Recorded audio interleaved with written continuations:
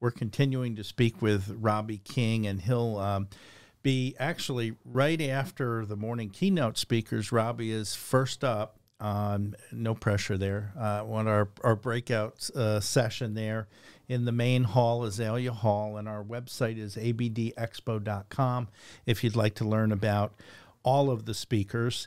Um, any other corner you'd like to share? Or Real we, quickly, yeah. yeah. I, let, let me just uh, mention, um, and, and this one's fairly obvious. Mm-hmm. I think everybody knows it, but most people struggle with it, and it's communications. And, and it, it's, it's communicating on each person's level. And, and what I mean by that is, I use this as an example. I think most of the time we assume that everyone is um, a checker on a checkerboard. They all look the same. Mm-hmm. They all do the same thing. They all have the same personality.